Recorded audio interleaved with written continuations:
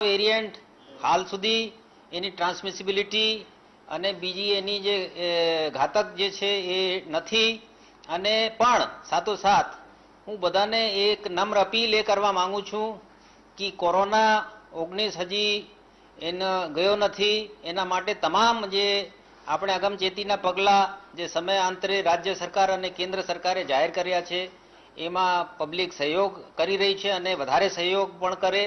એમાં માસ્ક પહેરવું, એમાં પછી સોશિયલ ડિસ્ટન્સિંગ રાખવું એકબીજા સાથે અને સાથોસાથ સેનિટાઈઝર સતત વાપરવું, સાબુથી હાથ ધોવું, એ તમામ બાબતો જે છે આપણે ચાલુ રાખવાની રહેશે.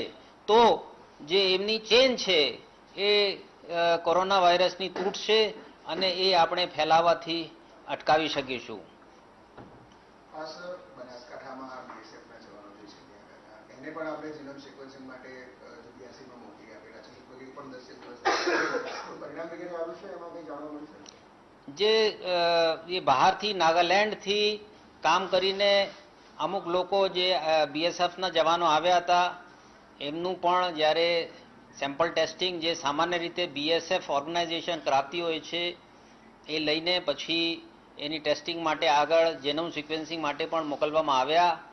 અને આ બધામાં સામાન્ય જે ડેલ્ટા વેરિયન્ટ છે, એ મળ્યો છે અને એમાં એ ટ્રાન્સમિસિબિલિટી એ વધે નહીં, એના માટે એમને કન્ટેનમેન્ટ ઝોન તરીકે જે છે, એક જગ્યા જ રાખવામાં આવ્યા છે અને એમની ઉપર પૂરી નજર રાખવામાં આવી રહી છે. અને જે બીજાને એ ન પ્રસરે, જાહેર પબ્લિકમાં એ ન પ્રસરે, એ બાબતની તમામ જે સ્ટેન્ડર્ડ ઓપરેટિંગ પ્રોસિજર છે, રાજ્ય સરકારનું એનું અમલ કરવામાં આવે એની કાળજી રાખવામાં આવી રહી છે. વડોદરા ગોત્રી જીવર્સ મેડિકલ કોલેજમાં કંઈક જેટલા મેડિકલ સ્ટુડન્ટની સામે સિનિયરોએ રેગિંગ કર્યું એ પ્રકારની ઘટના બની. આ પાસે સાહેબ મુદ્દો આવ્યો છે. શું પગલાં લેવાશે આ મુદ્દો આજે અત્યારે આપણે કેમ કે કોરોના ઓગણીસ કોવિડ ઓગણીસની વાત કરતા હતા પણ એ અમારા ધ્યાનમાં આવ્યું છે.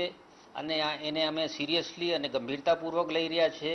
અને એ બાબતમાં મેં સૂચના આપી છે કે આ બાબતની ઊંડાણપૂર્વક તપાસ થાય અને અગર કોઈ પણ એમાં જવાબદાર જણાશે, તેની સામે કડક પગલાં પણ લેવામાં આવશે. અને રેગિંગ કેમ કે રાજ્ય સરકારે, કેન્દ્ર સરકારે અને સુપ્રીમ કોર્ટના ચુકાદા પ્રમાણે પણ બેન કરવામાં આવી ચૂકી છે.